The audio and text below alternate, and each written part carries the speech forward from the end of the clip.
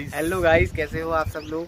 आज हम तो आपको बताते हैं तो पहले हम करते हैं आप मुकुल से बात। तो मुकुल भाई हमारे बताएँगे नैना गाँव के बारे में। नैना गाँव बहुत अच्छी जगह है यहाँ बहुत सारी मूली होती है। आप मूली खा सकते हैं यहाँ से। और क्या होता कुछ खास यहाँ है, आ, नैना गाँव नैना का नाम नैना गाँव क्यों पड़ा? ये ये मेरे को भी नहीं पता है बॉस। कुछ मंदिर वंदिर से हुआ क्या? नहीं नहीं कुछ अरे यार ये आजकल ये नए नए लड़के आए हैं। इन्हें कुछ नहीं पता है इनके पिताश्री को पकड़ा जाए।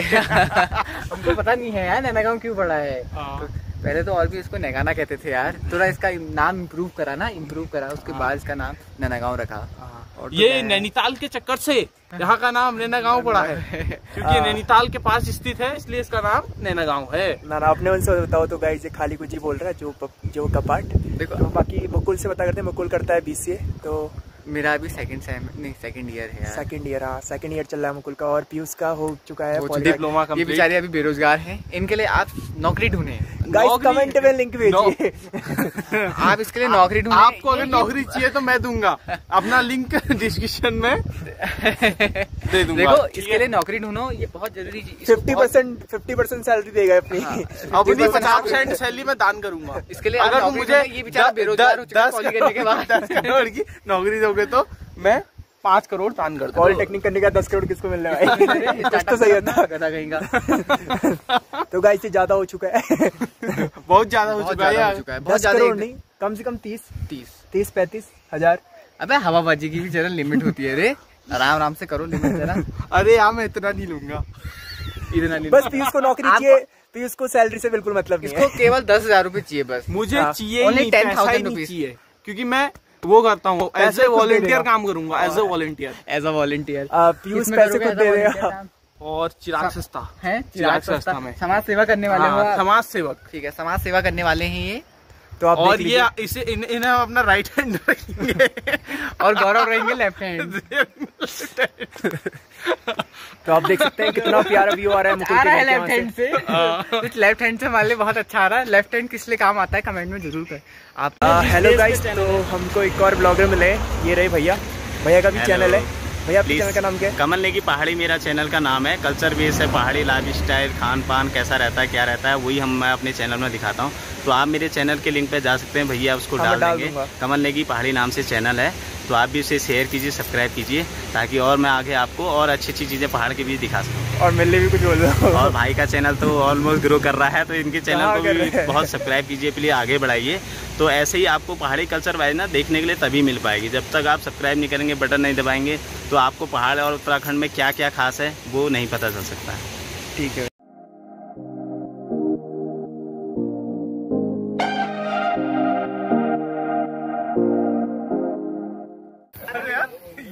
ठीक है मेरा लैपटॉप ही नहीं खुलेगा मैं एक बार ऑफ़ कर देना है। वो छोड़ नहीं देना hi guys hi guys welcome to my YouTube channel ऐसे करेगा hi guys welcome to the Gaurav Gaurav Boliya YouTube channel ये है गौरव इनकी दाढ़ी भी आ गई है। इनकी दाढ़ी ये जवान हो गए हैं। जवान हो गए हैं। इनके लिए शादी के लिए एक सुंदर सुशील कन्या ढूंढे आप। कमेंट में बता रहा देना। तो गौरव आप जा रहे थे मेले में और अब नहीं जा रहे तो आपको कैसा लग रहा है? बड़ा ही शानदार। बड़ा ही शानदार। आ गया मज़ा ना? पीयूष क्या कहना चाहेंगे आप? आपको नहीं ले जा रहे थे। मुझे मुझे बहुत बुरा लगा इनको देख के। और एक, कोई नहीं अभी आइसक्रीम खा देते तो अभी आप मैक्रोनी खा रहे हैं जो हमने बचाई थी अपनी कढ़ाई के बर्तन में। आ, आपको बुरा तो नहीं लग रहा ना? उसका ही बुरा लग गया भाई अभी। हम जा चुके हम पीयूष का बुरा लग गया। हमने कहा कहीं जाना हो रहा है यार पीयूष कुछ कहना चाहेंगे? जल्दी बोलिए ना। पीयूष भाई तो एकदम ये है कि दुआ सफल हो गई। ये भी आप मैं मज़ाक कर रहा हूँ आपने फॉग का सेंट डाला और आप घर ही रह गए। आपको कैसा लग रहा है फॉग का सेंट पनौती तो हेलो गाइस तो आज है दूसरा दिन तो अभी हम मेले के निकल चुके हैं। तो कौशल है मेरे साथ तो अभी हम जा रहे हैं बाइक में। तो अभी कुछ हो रहे हैं चार बज रहे हैं।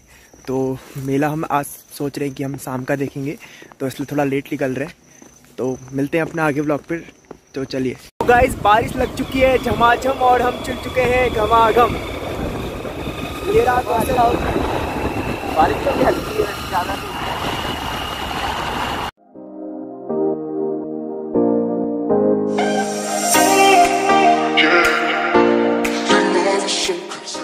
तो गाइस आप देख सकते हैं कि कोहरा लग चुका है और मतलब मौसम भी बड़ा प्यारा हो चुका है एकदम मज़ा आ रहा है कि ऐसे हमें मेले में जाने की ज़्यादा धूप नहीं लग रही है। ऐसा होता है कि जब धूप लगती है तो मन नहीं करता है कुछ भी काम करने का।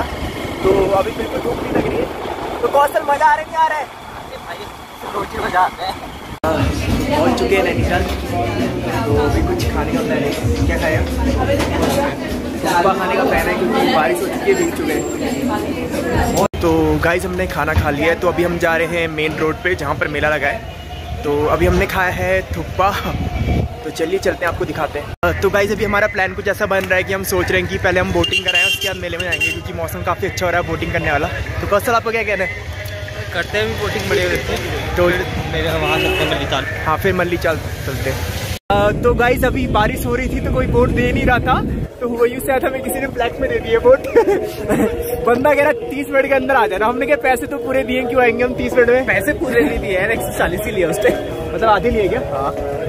अबे एक सौ चालीस का हमने दो सौ दिया ना। दो सौ दे रहे साठ रुपये सिक्योरिटी अरे। भाई अभी हम बोट लेते हुए मज़ा आ रहा है एकदम सर्दी में ठंडे में एकदम बोटिंग का मज़ा हो रहा है अभी तो कोहरा खत्म हो गया ना अभी तो बहुत कोहरा हो रहा था ना। हाँ अभी बहुत कोहरा हो रहा है। वजह से बोट भी नहीं दे रहा था वो। कोहरा अलग बारिश अलग हो रही थी उसका दो जरकिन तो पानी निकाला यहाँ से। हमने कहा भाई देते हम झेल लेंगे जो भी होगा। उससे कहा हमने भाई तैर लेंगे हम।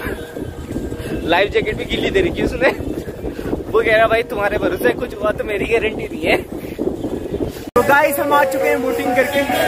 अब थोड़ा बारिश वारिश आने लगी थी इसलिए हम जल्दी ले आए। मतलब आधा घंटा ही करी हम ज़्यादा नहीं करी। तो अभी हम वेट कर रहे हैं बारिश बहुत तेज़ लग चुकी है। तो आप देख सकते हैं बहुत ज़्यादा बारिश लग चुकी है। नैनीताल भारत के उत्तराखंड राज्य के नैनीताल ज़िले में स्थित एक नगर और महत्वपूर्ण पर्यटक स्थल है। यह ज़िले का मुख्यालय भी है।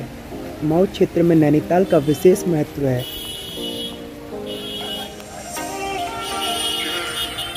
नैनी शब्द का अर्थ है आँखें और ताल का अर्थ है झील। बर्फ़ से ढके पहाड़ों के बीच बसा यह स्थान झीलों से घिरा हुआ है। इनमें से सबसे प्रमुख झील नैनी झील है। जिसके नाम पर इस जगह का नाम नैनीताल पड़ा है।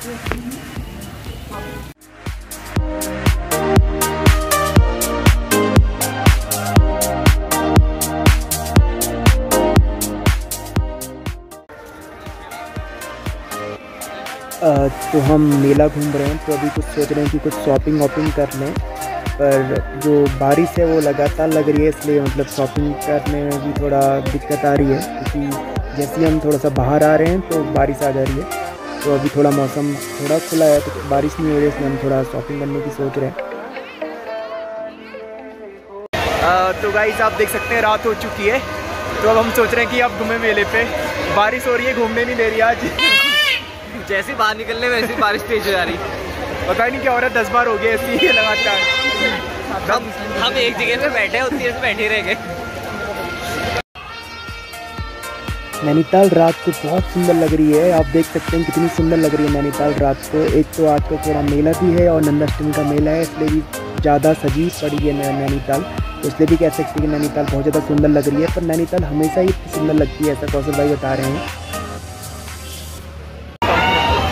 अभी हम जा रहे हैं जाइंट फ़ील्ड पे। आप हमारे पीछे देख सकते हैं। पीछे कौशल कहाँ से है? यहाँ से आगे से। तो बैठ चुके हम जाइंट फ़ील्ड के लिए।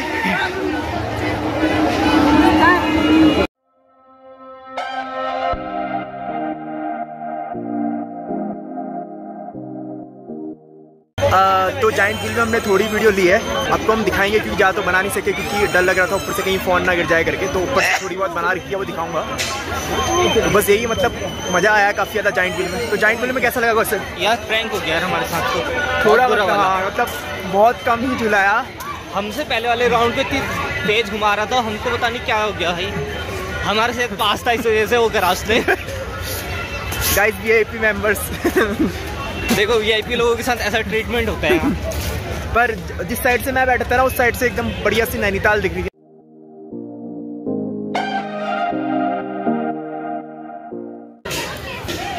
तो अभी मैं हूँ नैनीताल पे और इतनी रात हो रही है तो मतलब नैनीताल रात में बहुत सुंदर दिखती है। आपको भी दिखाता हूँ। अभी हूँ मैं नैना देवी के मंदिर पे, आपको दिखाता हूँ मंदिर भी। अगर अलाव होगा तो। ताल कितनी सुंदर लग रही है रात को एकदम लाइट से एकदम जो रिफ्लेक्शन आ रही है ना ताल से बड़ी सुंदर लग रही है।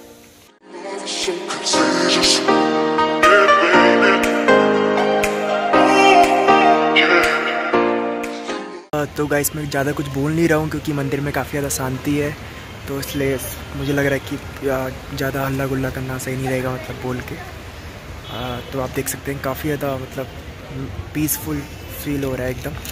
और अभी कुछ बज रहे हैं, शायद दस बज रहे हैं अभी। तो अभी हम यहीं पर ही हैं, मेले पे। शायद हम थोड़ी देर में जाएँ मतलब ग्यारह बजे तक जाएँगे हम घर को। तो आप देख सकते हैं, कितना प्यारा मंदिर है। बहुत ही सुंदर मंदिर है। तो अभी दर्शन काफ़ी अच्छे से हुए अगर दिन में आता तो मैं भी नहीं होते इतने अच्छे से, क्योंकि बहुत ज़्यादा भीड़ लगी रहती है। तो अभी काफ़ी अच्छे से हुए एकदम दर्शन। तो थोड़ी देर यहाँ पर बैठा मैं, काफ़ी अच्छा लगा। अब सोच रहे हैं कि अब मतलब अब बाहर जाता हूँ।